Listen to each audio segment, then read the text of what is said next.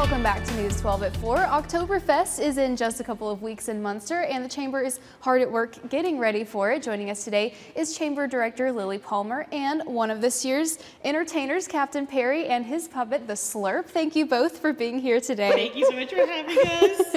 How fun is this? Okay, so tell us what can we expect at this so, year's Oktoberfest? Every year we have some fun stuff. Yes. You know, it's definitely great food, great entertainment, but this year we have Captain Perry and the Slurp, and I was like, we have to show people them so that they could come. Absolutely. so they're going to be performing on Friday and Sunday. So if you can't make it on Friday, come on on Sunday. Have another chance. Yeah, and come on out and meet the Slurp. Slurp is just a wonderful little pup dog. She's got a couple of friends hidden in the back. Okay, she's got a friend called Chef Pierre, and she also has GI Johnny Joe that's going to show up with her. Very but Slurp fun. is going to give you a great show. She's all about entertainment and having fun. A little shy once in a while. She loves to lick you. Okay, and so if you have an opportunity to pet her, it'd be a great opportunity for you. Very neat. Yep. Very exciting. We'll also be doing a great uh, live entertainment um, as far as uh, the musician show. I'm uh, honored to uh, be part of the uh, Friday nights closing from 8.30 till 10. And we'll be doing uh, Elvis. Oh yeah. Oh, you're gonna have my fun. Oh and, my goodness. Oh yeah. We're gonna, baby, let me be your loving teddy bear. So you're gonna hear a lot of Elvis, a lot of Alabama. You're gonna hear uh, Tracy Chapman. You're gonna hear Brooks and Dunn. Oh yeah. So a lot of good things coming on out at the. Uh, German Festival, and it is going to be a blast, folks. Yes. And I and hear you're also an author as well. Yeah, I, um, uh, you know, uh, Lilly and I have been talking about that. We've had a great, great time. We've uh, shared some uh, knowledge about my books, and I've done a lot of leadership books, but I've gotten also into where it's the Recon Rat Boys.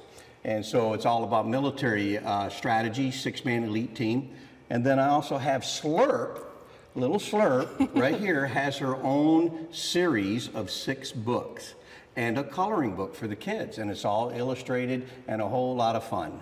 So uh, Slurp is excited about sharing this information, excited about having fun with the kids, and and some of the adults are going to have fun too. Of course, And so once you come on out and have some fun with at the tent and enjoy just a wonderful German fest in Muenster, Texas, okay, and I'll tell, I'll give it on over to uh, Lilly here, and she'll explain a little bit more what's That's going awesome. on. That's awesome. So I also have a drone show coming in on Saturday, and it's going to be at 7.30. We'll have 50 drones up in the air, so we're pretty excited about that. All the kids that love all the robotics type stuff, those that play video games are going to really appreciate that time, so they got to come on out.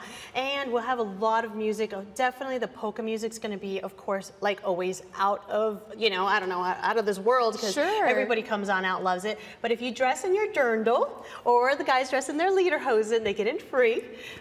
Parking is $5, admission is $5. So it's a good time for the whole family and it's Friday, Saturday, and Sunday. Perfect. Mm -hmm. And is there a contest as well with dressing up? Yes. So I have the Lederhosen and Dirndl contest on Saturday at 2-ish. I don't know. My calendar's right here. And I also have our Stein hoisting competition.